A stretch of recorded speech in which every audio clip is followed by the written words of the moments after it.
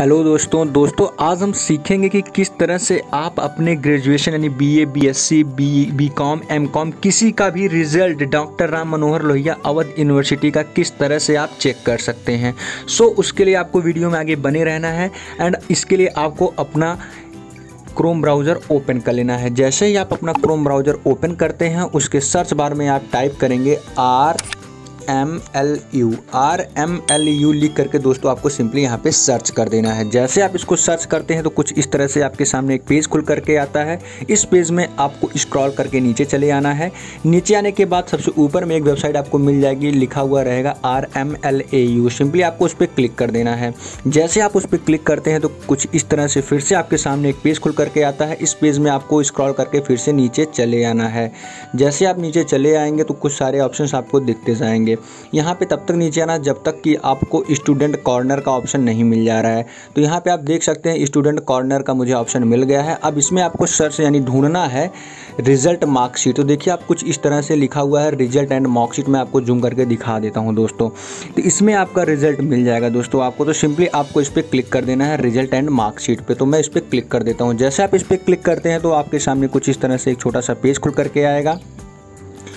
अब इस पेज में दोस्तों आपको देखिए जिस ईयर का आपको रिज़ल्ट चेक करना है, सिंपली आपको उस ईयर वाले ऑप्शन पर क्लिक कर देना है। मुझे व्यू रिज़ल्ट 2022 वाला चेक करना है तो मैं सिंपली व्यू रिज़ल्ट 2022 पे क्लिक कर दूँगा। जैसे मैं इस पर क्लिक करता हूँ तो सबसे नीचे जो आपका नया नया दोस्तों रिज़ल्ट आया हुआ होता है, वो आपको नीचे मिलता है। तो आपको स्क्रॉल करके सबसे नीचे चले आना है और देखना है कि कौन कौन सा रिज़ल्ट आपका आया हुआ है। तो प्रेजेंट टाइम में दोस्तों आपका बी सेकेंड ईयर का रिज़ल्ट आया हुआ है एंड बी कॉम ईयर का रिज़ल्ट आया है, और BSc home science part two का रिज़ल्ट आया हुआ है।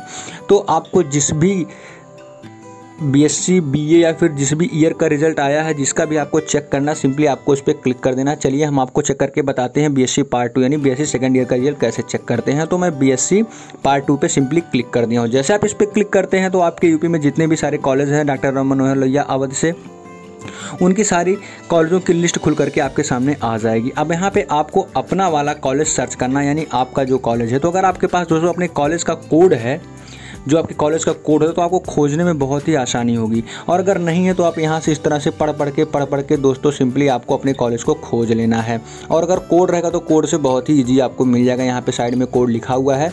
डायरेक्ट आपको अपने कोड पर चले आना इस तरह से। हमको तो कोड भी पता है दोस्तों तो हम अगर अपने कोड से आना चाहेंगे तो देखिए डायरेक्ट में स्कॉल करके तेज़ी से मैं अपने कॉलेज पर आ रहा हूँ।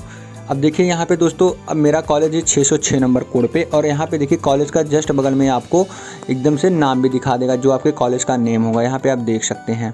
अब उसके साइड में आप इस तरह से स्क्रॉल करेंगे, या इस बगल में स्क्रॉल करेंगे तो आपको एक ऑप्शन देखिए मिलेगा व्यू रिज़ल्ट का, सबसे साइड में।